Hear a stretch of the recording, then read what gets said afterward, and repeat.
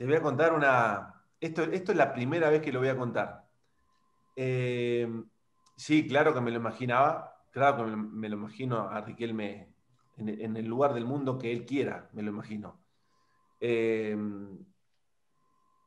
yo estuve a punto de ser director deportivo de Atlas cuando me retiré al, año, creo.